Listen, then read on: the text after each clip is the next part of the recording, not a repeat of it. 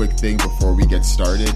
The sound quality on this episode might not be the best, and it's for two reasons. One, we're recording in a hotel room, and I'm near an airport right now, so if you hear a 737 zooming by, you'll know why.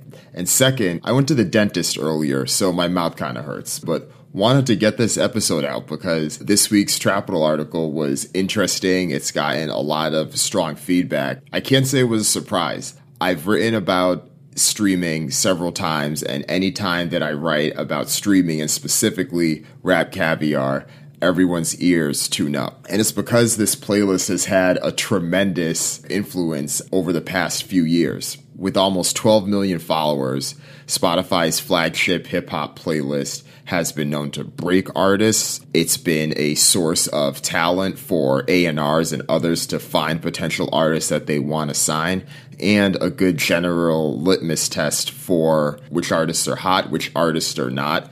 It's no different than someone tuning in to see what songs are playing on the radio. But it's been this way for a while. I feel like 2016, 2017 were the years that Rap Caviar truly blew up. So it's a bit odd that now, this summer, summer 2019, is when all the other digital streaming providers are stepping up their game and trying to launch their own rap caviars. Apple Music just redid theirs. It's no longer A list hip hop, it's now Rap Life not the most exciting name in the world, but it's going to be headed up by Ebro Darden, who's also a host on Hot 97 and has been working with Apple Music for quite some time. And on Amazon Music side, they recently launched a free tier and they now have Rap Rotation, another fairly generic name. And you also have Tidal, who has been pushing thorough hip hop, their flagship playlist for some time that's been leaded up and curated by Elliott Wilson, the host of the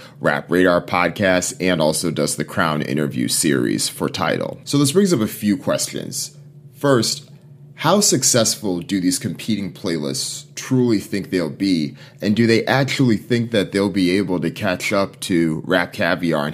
I can tell you right now that Apple Music and Tidal do not have a chance at being able to match where Rap Caviar is you have to be a paid subscriber in order to use Apple Music. You have to be a paid subscriber in order to use Tidal. Because of that, it's going to be much less influential, and the playlist itself has to serve a different goal. If you are an outsider of Apple Music, you're an outsider to Tidal, before you can even engage and have a true idea for the identity and what these playlists might stand for, you have to be willing to spend $9.99 a month or whatever the price is in your country in order to use that service. These DSPs are using these playlists as a means to help attract or retain customers. That's the primary goal. And of course, once they get people in the door, there's creative things that they can do. They can try to replicate some of Rap Caviar's strategies, but it's just not the same. Rap Caviar is available for both Spotify's free and paid tier. So that means that even though a customer is still technically on the free side of Spotify's freemium service, they have exposure to what Rap Caviar offers. So let's say that even if they are a paid subscriber to Apple Music or Tidal, but they still have a free Spotify subscription, they at least have awareness of how Rap Caviar operates and can compare which songs are on which when it's time for Spotify to try to monetize Rap Caviar outside of its streaming service, which it often does with Rap Caviar Live, which is its concert series. They also have the Rap Caviar Live Museum fans can attend, and it's a way for Spotify to generate money from the Rap Caviar brand whether you pay for a subscription or not. A majority of Spotify's listeners do not pay for membership. This is why Rap Caviar has an effective and strong competitive advantage. Its size and the structure of Spotify itself has effectively created a moat. It's harder for other playlists to be able to have the same influence. First, let's talk about Apple Music. Their primary goal is to expand beyond the iPhone. The iPhone has been one of its biggest strengths That's why they've been able to surpass Spotify for the number of paid US subscribers, which is a pretty impressive stat all across the board. But it's also fairly limiting. Most of the world outside the US doesn't have iPhones, they have some other Android device. So, how does Apple Music insert itself onto devices that it isn't automatically pre installed on? The place that Spotify is in music is very much where Apple and iTunes were 15 years ago. What is Apple Music's role when it's no longer the market leader that can dictate things and they now have to try to insert themselves in markets where they may not necessarily have as strong of a hold.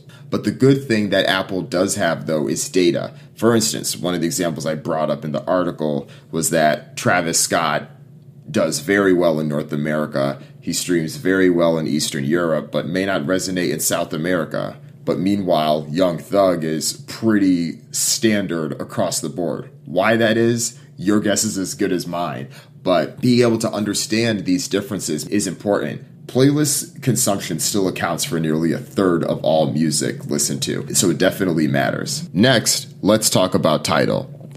The good thing about Tidal relative to most of the other streaming services is that it already has a target customer. You go ask any of your friends that has a Tidal subscription, I guarantee you a couple things are true. One, they're really big fans of Jay Z or Beyonce.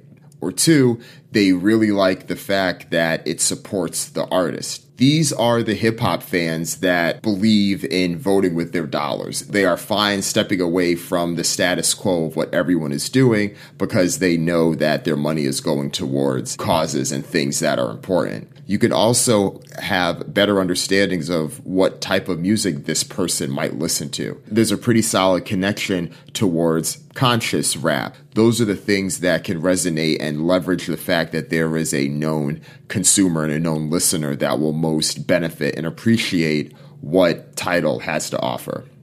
And last, let's talk about Amazon and rap rotation. One of the biggest opportunities for them is to team up with Alexa.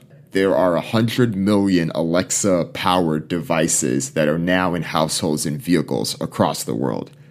That's pretty insane and a lot of it is because Prime Day they essentially give them away. If you're not taking one, then you almost seem like a member of counterculture by not spending $15 or whatever the price is to put an Echo in your home. There is clearly a cross promotional opportunity. You can pick up the trends of what's happening in tech right now with these big companies. Both Amazon and Apple want to both control the devices that you have and control the content that's consumed on those devices. And second, by doing that, it then makes it easier to promote and advertise products to you. That's one of the reasons why its a new rap rotation playlist can be a cross promotional opportunity with Alexa. At the beginning of July, Amazon Music released a new video to officially launch rap rotation and they had a number of big name rappers in there going around this house party. The house party looked dope. They did a good job with the trailer. But at the end closing words are hey alexa play rap rotation on amazon music and that's the goal. They want to show that you can combine the two of these. Get these people to be exposed to what rap rotation is and what it stands for. That's how you get exposure. Leverage the entry point, whether it is your software or your hardware, and hopefully you can get folks to convert over time. Those are some of the things that each of those major digital streaming providers can do to catch up with Rap Caviar.